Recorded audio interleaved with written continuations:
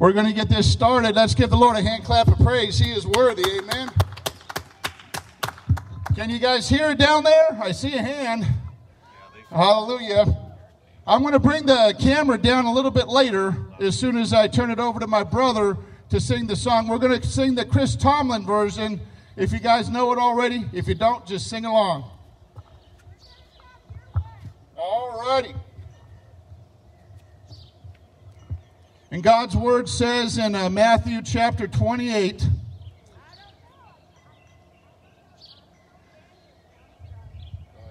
In the end of the Sabbath, as it began to draw toward the first day of the week, Mary Magdalene and the other Mary to see the sepulchre.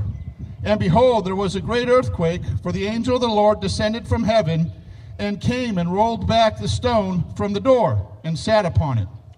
His countenance was like lightning, and his raiment was white as snow. And for fear of him, the keepers did shake and became as dead men. And the angel answered and said unto the woman, Fear not ye, for I know that you seek Jesus, which was crucified. He is not here, for he is risen. As he said, Come and see the place where the Lord laid, and go quickly and tell his disciples, He has risen from the dead and that behold, he goeth before you into Galilee, there shall ye see him, for I have told you. And they departed from the sepulchre and feared and great joy, and did run to bring his disciples the word. Let us pray. Father, we thank you for your word. We thank you for Jesus in this day that has changed the world forever. Thousands of years ago, you were sacrificed and you rose on the third day. Thank you for sending Jesus. And thank you for this great nation and all the people that have been holding on and going through these times together despite our differences. And we pray, a blessing over this neighborhood and the entire country and the entire world. That this will be the biggest harvest of souls that there has ever been on planet Earth. For what the devil meant for evil, you meant for good. And you turn everything around. And we thank you and we praise you. In Jesus' name, amen. amen. All right, brother.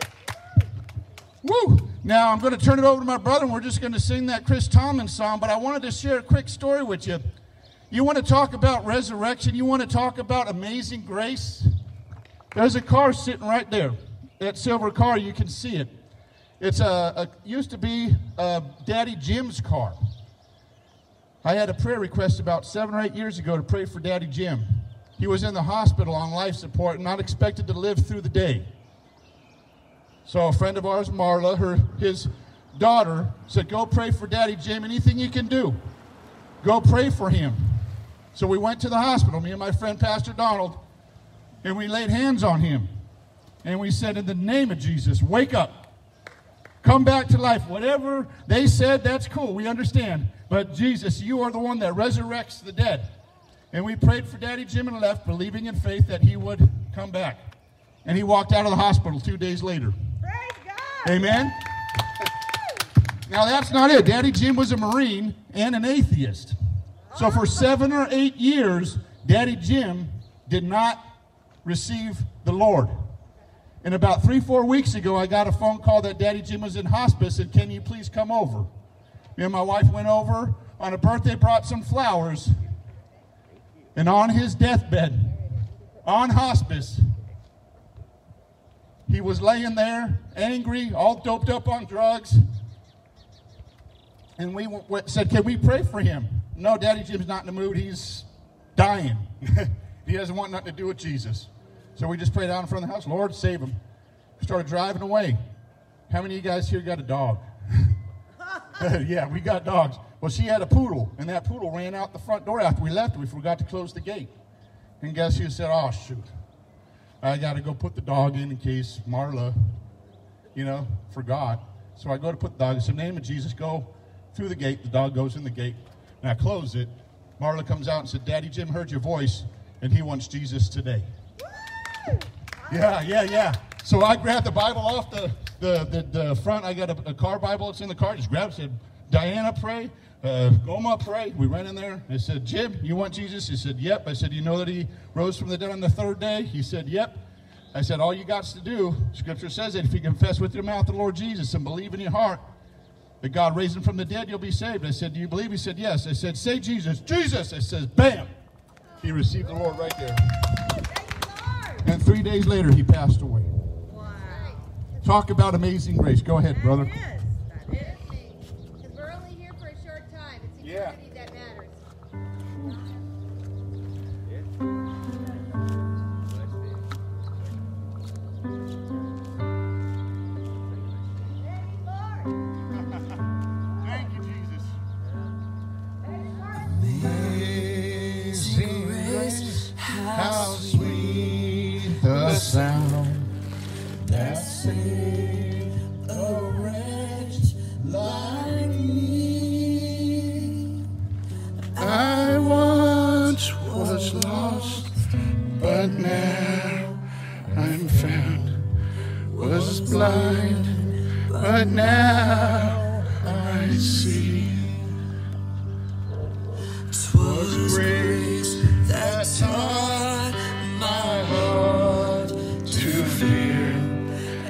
grace my fears relieve.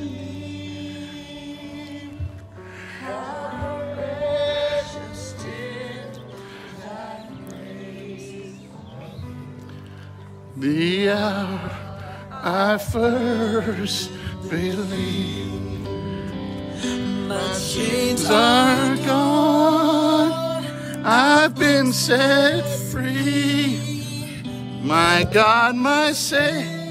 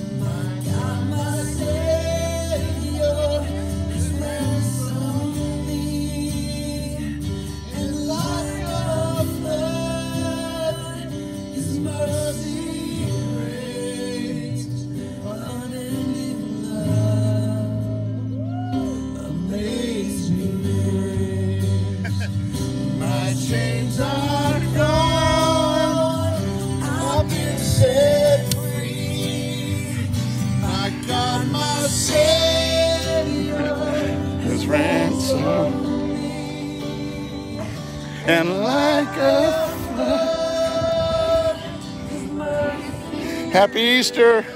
God bless you guys. Who would have thunk all those years ago? You guys must have been praying.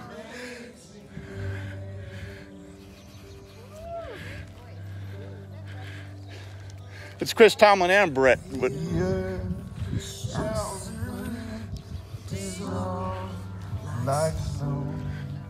the sun open to shine